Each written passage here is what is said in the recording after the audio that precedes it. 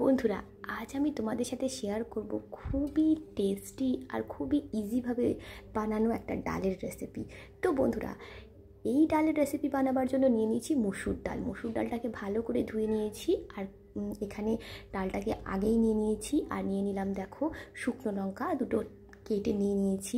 আর কিছু পেঁয়াজ, কাঁচা লঙ্কা মানে স্বাদ মতো নুন, হলুদ গুঁড়ো আর লঙ্কার গুঁড়ো। আর দিয়ে দেবো কিছুটা সর্ষের তেল। তো ভালোভাবে কিন্তু ডালটাকে আগে মাখিয়ে নিতে হবে। তো বন্ধুরা, তোমরা এই রকম ডাল গ্রাম বাংলায় দেখতে পাবে গ্রামের মানুষরা কিন্তু ভীষণ পছন্দ করে। আর এই ডালটার স্বাদ আর পাঁচটা ডালের থেকে কিন্তু আরও বেশি। তো দেখো সমস্ত মশলা আর পেঁয়াজ দিয়ে ডালটাকে ভালো করে মাখিয়ে নেব। আর মাখিয়ে নিয়ে কিছুটা জল দিয়ে আমি ডালটাকে ফুটিয়ে নেব। তো এখানে এই মানে মানে ডালের রেসিপিটা ভীষণই ইজি আর ভীষণই টেস্টি তো বন্ধুরা গ্রামের মানুষরা এই ডালটাকে ভীষণ পছন্দ করে। তোমরা যদি ডাল এভাবে একবার বানাও, তো জাস্ট এই ডাল দিয়েই ভাত খাওয়া হয়ে যাবে, এতটাই টেস্টি হয়।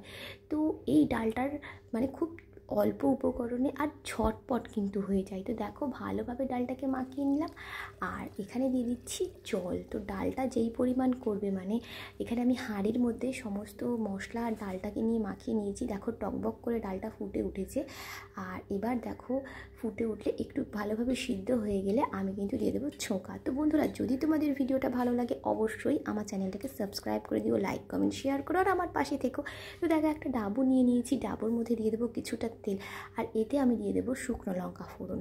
আর দিয়ে দিচ্ছি, দেখো, কিছুটা রসুনকে আমি ছেঁচে নিয়েছি। তো এইভাবে তোমরা যদি রসুনটা দাও, তাহলে ডালের স্বাদটা আরও বেশি বৃদ্ধি পায়। আর এই ডাল দিয়েই শুধু ভাত খাওয়া হয়ে যায়। তো দেখো, আমি দিয়ে দিলাম ছোঁকা। তো এইভাবে ডাল একবার ট্রাই করে দেখো। ডাল তোমরা অনেকেই বানাও বাট এই ডালটার স্বাদ কিন্তু একদম আর পাঁচটা ডালের থেকে ডিফারেন্ট তো অবশ্যই ট্রাই করো, আর অবশ্যই তোমাদের রেসিপিটা কেমন লেগেছে আমাকে অবশ্যই কমেন্টে জানিও। আর বাঙালি থেকে অবাঙালি সবাই কিন্তু আমরা ডাল খাই, তাই না বন্ধুরা?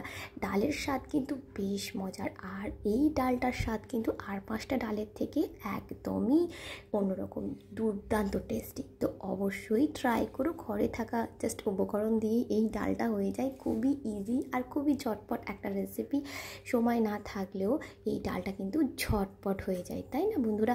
তো বন্ধুরা, আজকের ভিডিওটা এখানেই শেষ করে দেবো। দেখা হচ্ছে আবার পরের দিন নতুন একটা ভিডিও নিয়ে। তো বন্ধুরা, আজকের মতো। বাই বাই বন্ধুরা।